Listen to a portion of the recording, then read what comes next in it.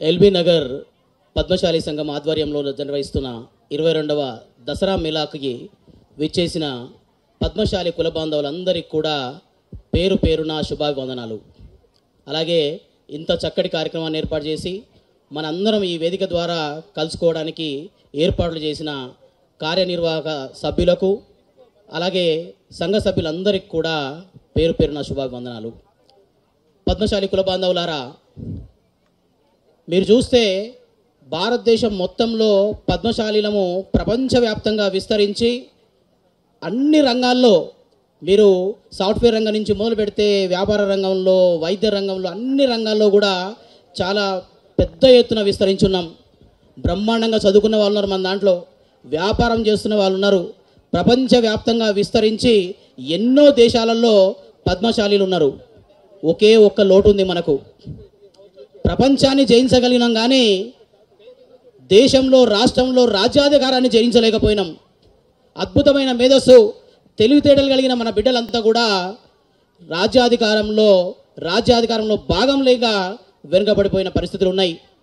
మీరు చరిత్రను గమనిస్తే ఇంతకుముందే సోదరుడు భాస్కర్ గారు చెప్పారు ఏ దేశ చరిత్ర ప్రపంచ చరిత్రను గమనించిన ఏ జాతి అయితే ఏ కులం అయితే ఏ సమూహం అయితే రాజ్యాధికారంలో వాటా లేక అధికారానికి దూరంగా ఉంటుందో అది క్రమంగా నశించిపోయే ప్రమాదం ఉంటుంది.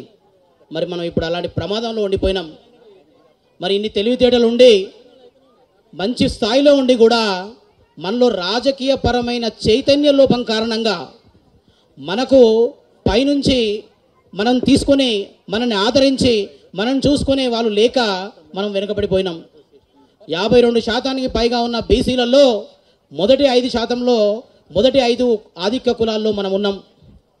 మరి మరి అసెంబ్లీలో చూసినా పార్లమెంట్లో చూసినా బీసీ మొదటి ఐదు జాతులలో మనం లేం. రాజకీయ చైతన్యంతోనే ఏదైనా సాధ్యమవుతుంది. మనకు కరోనా కరోనా టైంలో వచ్చిన కష్టాల్లో అయినా మన చేనేత బిడ్డలకు వచ్చిన కష్టాల్లో అయినా చెప్పుకోవడానికి మనకు సరైన ప్రాతినిధ్యం లేకపోతే మనకు ఎలాంటివి దక్కవు. అన్న ఒక్కడిప్పుడు రమణన్న ఒక్కడు ఎమ్మెల్సీ రూపంలో మనకు ఒక పెద్ద దిక్కున్నాడు.